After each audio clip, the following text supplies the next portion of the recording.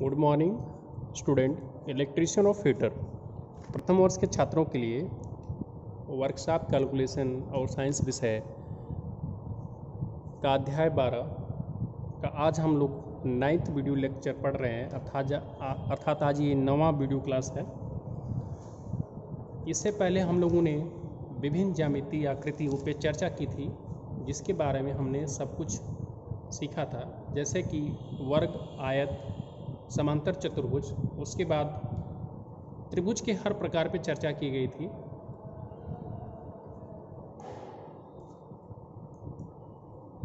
आज हम आज हम लोग जो है जिस ज्यामितीय आकृति के बारे में चर्चा करने जा रहे हैं, उसको हम लोग वृत्त कहते हैं। इसको इंग्लिश में सर्किल बोला जाता है। तो सबसे पहले हम सर्किल की परिभाषा देख लेते हैं कि सर्किल की परिभाषा क्या होगी, अर्थात वृत्त की परिभाषा क्या होगी। तो बिंदुओं का ऐसा पथ बिंदुओं का ऐसा पथ जिसकी दूरी केंद्र से सदैव समान होती है, यह वृत्त कहलाता है। अब ये बिंदुओं का कैसा पथ है, ये मैं आपको दिखा रहा हूँ। देखिए, एक ये पॉइंट है, अगर ये पॉइंट ऐसे घूमे किसी बिंदु के सापेक्ष कि सभी जगह की दूरी जो है केंद्र से बराबर, जैसे ये बिंदु है, यहाँ से यहाँ गया यहाँ गया यहाँ गया यहाँ गया, एक पूरा चक्कर लगा रहा है। तो इसको अगर केंद्र मान लिया जाए तो इस केंद्र से, इस बिंदु की अगर दूरी आर है तो सभी बिंदुओं की दूरी कितनी होगी? आर और इस आर को क्या बोला जाता है? त्रिज्या, जिसको हम इंग्लिश में रेडियस बोलते हैं। तो बिंदुओं का ये जो पथ आप देख रहे हैं तो ये सभी पथ पे जितने भी बिंदु हैं तो केंद्र से इन सभी बिंदुओं की दूरी समान होती है, जिसको हम त्रिज्या बोलते हैं। और केंद्र से होकर गुजरने वाली एक सीधी रेखा जो दो बिंदुओं से मिलती है, वह वृत्त का व्यास कहलाती है। जैसे ये जो रेखा आप देख रहे हैं, ये केंद्र से होकर गुजर रही है और ये दो अलग अलग बिंदुओं से मिल रही है और ये सीधी रेखा भी है तो यह रेखा क्या होगी? वृत्त की व्यास कहलाएगी। तो आर जो है, वृत्त का त्रिज्या होगा ओहो।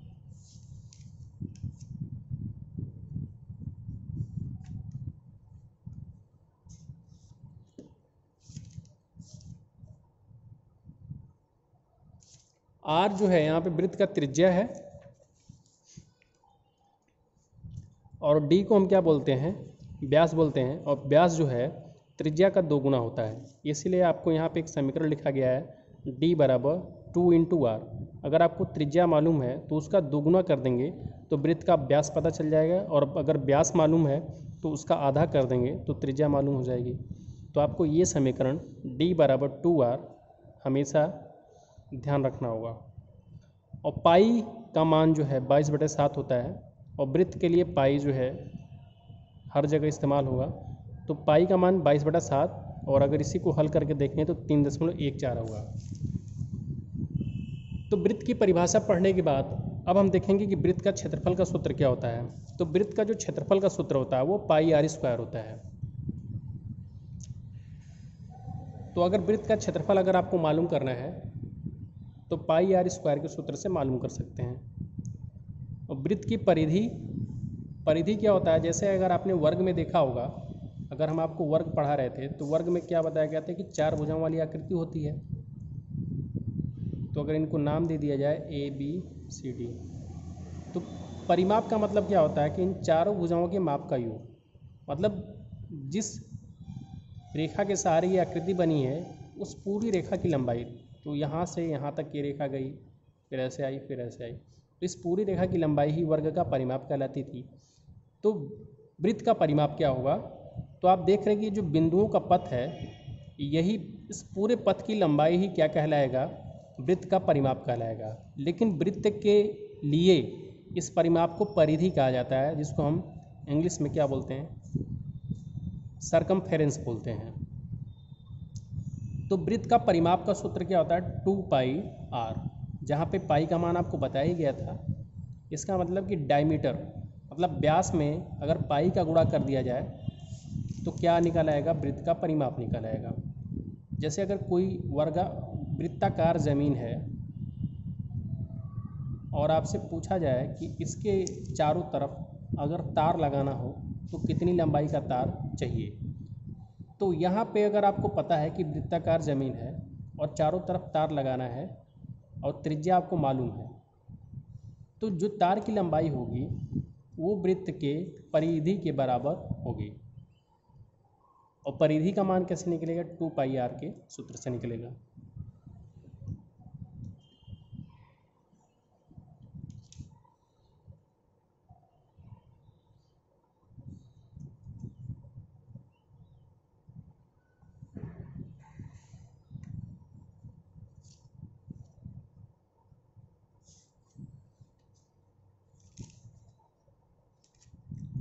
अब अगला क्वेश्चन आपको देखना है कि वृत्त की त्रिज्या,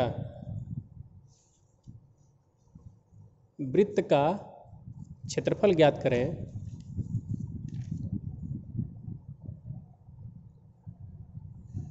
जिसकी त्रिज्या एक दशमलव पाँच चार मीटर है और इसकी परिधि भी ज्ञात करें। मतलब वृत्त का क्षेत्रफल भी ज्ञात करना है और परिधि भी ज्ञात करना है, जिसका त्रिज्या जो है एक दशमलव पाँच चार मीटर के बराबर है।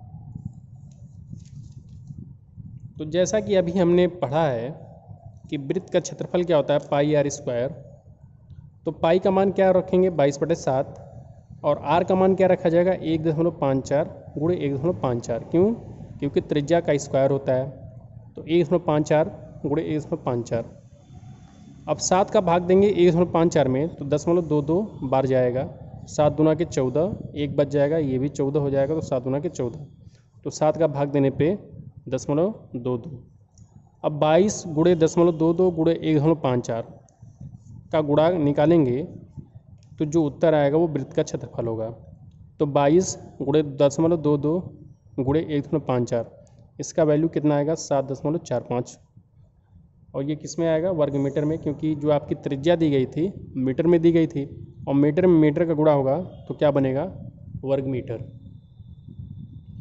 तो यहाँ से वृत्त का क्षेत्रफल कितना आ गया? सात दशमलव चार पाँच वर्ग मीटर।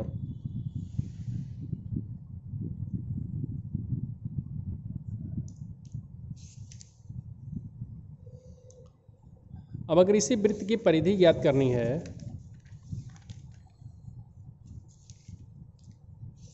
तो वृत्त की परिधि ज्ञात करने का सूत्र क्या होता है? Two into pi into R.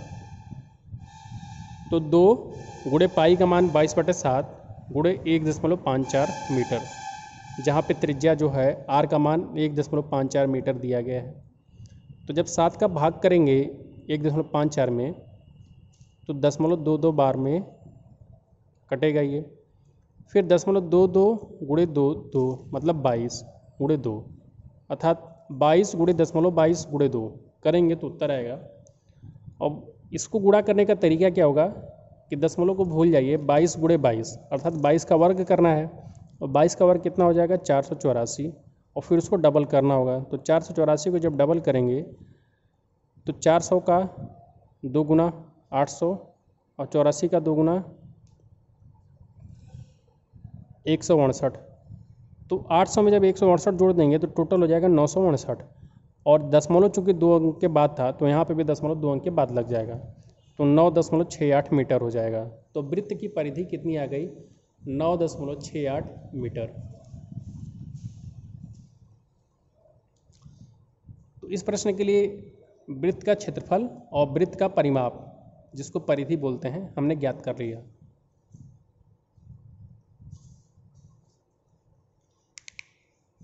अब अगला जो प्रश्न है कि एक वृत्ताकार भूखंड, जिसका क्षेत्रफल 616 वर्ग मीटर है, इसका परिधि ज्ञात करें। तो इस प्रश्न में आपको कोई वृत्ताकार भूखंड है, जिसका क्षेत्रफल 616 वर्ग मीटर है, दे दिया गया है, और इस वृत्त की परिधि ज्ञात करना है।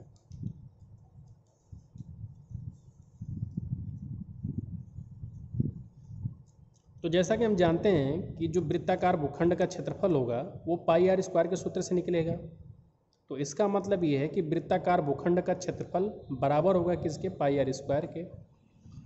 अब चूँकि वृत्ताकार भूखंड का जो क्षेत्रफल है, वो 616 वर्ग मीटर पहले से ही दे दिया गया है। तो ये किसके बराबर होगा? पाई आर स्क्वायर के बराबर होगा। हमें त्रिज्या मालूम नहीं है, लेकिन पाई इंटू आर स्क्वायर बराबर 616 वर्ग मीटर कर दिया हमने। क्योंकि हमें पता था कि पाई आर स्क्वायर के, पाई आर स्क्वायर निकालेंगे तो वो 616 वर्ग मीटर के बराबर ही आएगा। तो यहाँ से आर स्क्वायर का मान कितना आएगा? 616 मीटर स्क्वायर और सात का तिरिय तिरिय गुड़ा हो जाएगा 616 में और 22 बटे में चला जाएगा। तो आर स्क्वायर बराबर हो गया 616 गुड़े सात बटे में 22 जब 22 का भाग देंगे 616 में तो ये अट्ठाईस बार में कटेगा। तो आर स्क्वायर बराबर कितना हो जाएगा? अट्ठाईस गुड़े सात। लेकिन हमें तो त्रिज्या का मान मालूम करना है, क्योंकि हमें परिधि ज्ञात करना है इस वृत्ताकार भूखंड की। तो आर स्क्वायर का मान हमें पता चल गया, अर्थात त्रिज्या का वर्ग का मान अट्ठाईस गुड़े सात है। लेकिन हमें आर निकालना है तो वर्गमूल लेंगे। तो करणी लगा दी हमने अट्ठाईस गुड़े सात पे। अब अट्ठाईस का हमने फैक्टर किया तो सात गुड़े चार हो गया, और ये सात पहले से गुड़ा था। अब ये सात और सात को एक साथ रख लेंगे, सात गुड़े चार, और चार का फैक्टर फिर कर लेंगे, दो गुड़े दो। तो जब कामन निकालते हैं कणी से तो जिनका जोड़ा बनता है वही कामन आता है। तो सात का भी जोड़ा बन गया, दो का भी जोड़ा बन गया। तो एक सात भी बाहर आ जाएगा, एक दो भी बाहर आ जाएगा। तो आर का मान कितना हो जाएगा? सात गुड़े दो। इसका मान कितना आएगा? चौदह मीटर। इसका मतलब ये हो गया कि इस वृत्ताकार भूखंड का जो त्रिज्या है, वो चौदह मीटर के बराबर है।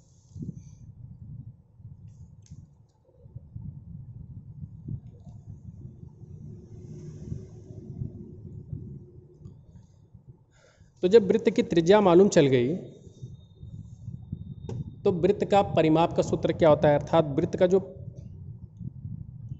परिमाप होगा या परिधि होगा,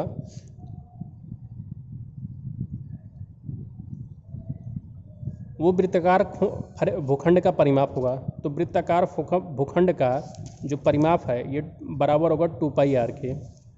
तो दो पाई का मान बाईस बटे सात आर का मान कितना रख दिया गया? चौदह। क्योंकि यहाँ पे हमने इससे पहले त्रिज्या ही निकाला था। तो जब सात का भाग करेंगे, चौदह में दो बार चला जाएगा। तो यहाँ पे ऊपर में क्या आएगा? दो गुड़े बाईस गुड़े दो। अर्थात बाईस में चार का गुड़ा तो बाईस में जब चार का गुड़ा करेंगे तो कितना आएगा? अट्ठासी मीटर। तो इस वृत्ताकार भूखंड का जो परिधि है, वो कितने मीटर आया है? अट्ठासी मीटर आया है। तो जिस वृत्ताकार भूखंड का क्षेत्रफल 616 वर्ग मीटर था, उसकी त्रिज्या 14 मीटर होगी और उसका परिमाप 88 मीटर होगा। ये दोनों ही आंसर हल हो गए। अब अगला क्वेश्चन आपको देखना है कि वर्गाकार आकृति में लपेटे गए तार को जब वृत्ताकार आकृति में लपेटा जाता है तो वृत्त की त्रिज्या उनचास सेंटीमीटर होती है तो वर्ग की भुजा ज्ञात करें। तो देखिए, एक लंबा सा तार है, जिसको जब वर्ग की आकृति में लपेटा जाता है, इसका मतलब कि इस तार को हम चार भुजाओं की आकृति में लपेट देते हैं, वर्ग की आकृति में। और जब इसी तार को वृत्ताकार आकृति में लपेट दिया जाता है, अर्थात एक रिंग की भांति लपेट दिया जाता है। तो ये जब वृत्ताकार आकृति बनती है तो इसकी त्रिज्या उनचास सेंटीमीटर होती है। तो वर्ग की भुजा मालूम करना है।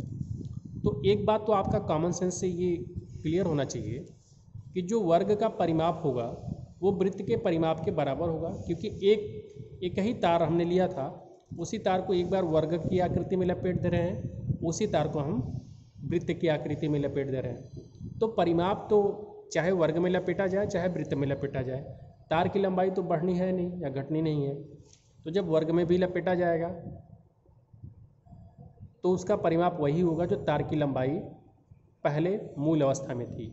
और जब उसी तार को वृत्त की आकृति में लपेट दिया जाएगा, तब भी उस तार की लंबाई वही होगी जो वृत्त के परिमाप की होगी।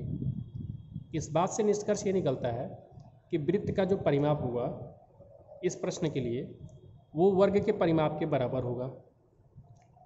तो वृत्ताकार, तार की जो त्रिज्या है, वो उनचास सेंटीमीटर है।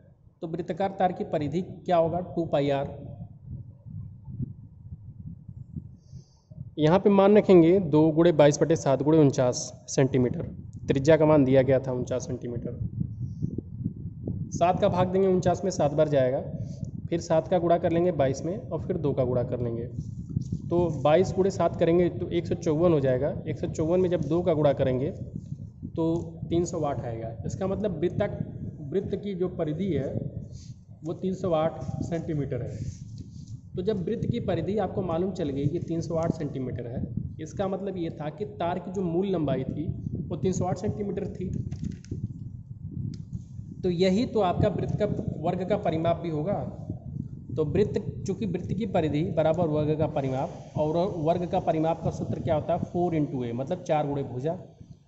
और ये ये बराबर होगा वृत्त के परिमाप के तो इसका मतलब कि चार ए बराबर होगा तीन सौ आठ के। तो ए का मान यहाँ पे क्या हो जाएगा? तीन सौ आठ बटे में चार। और तीन सौ आठ में जब चार का भाग करेंगे तो आएगा क्या उत्तर?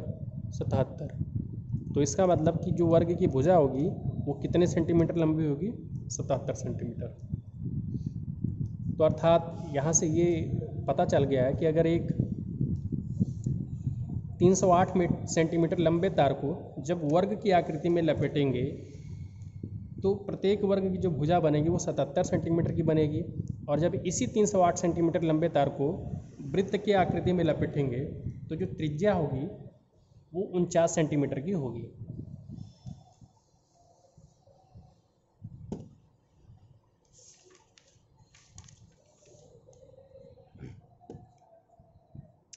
अब अगला क्वेश्चन देखिए कि वृत्त की त्रिज्या ज्ञात करें। अगर परिधि और व्यास के बीच अंतर 28 सेंटीमीटर है तो इस प्रश्न के लिए आपको देखना क्या है कि वृत्त की त्रिज्या मालूम करनी है। अगर उसी वृत्त की परिधि और व्यास के बीच अंतर हमें जबकि मालूम है, और ये 28 सेंटीमीटर है। तो जैसा कि हमें पता है कि वृत्त की जो परिधि का सूत्र होता है वो किसके बराबर होता है? टू पाई आर के बराबर होता है।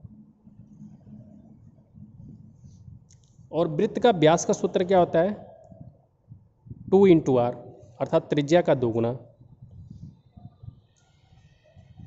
तो जैसा कि प्रश्न में दिया गया है, इसीलिए हमने लिखा है चूँकि परिधि माइनस व्यास, क्योंकि परिधि और व्यास का अंतर।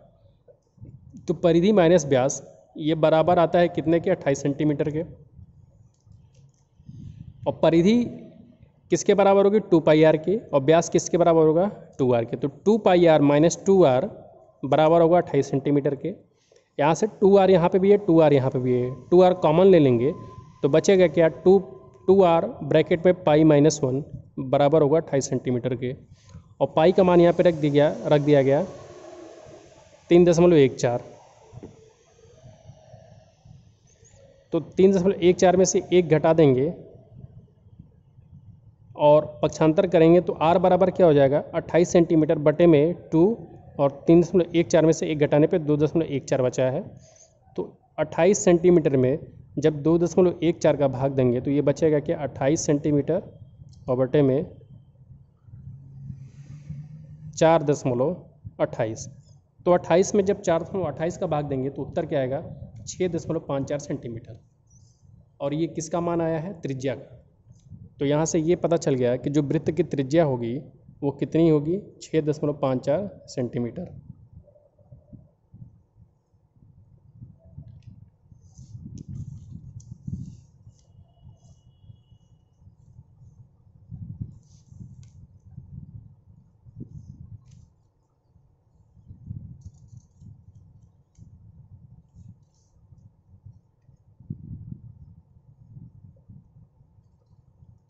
तो आज के लिए इस वीडियो में इतना ही। वीडियो देखने के लिए आपको धन्यवाद।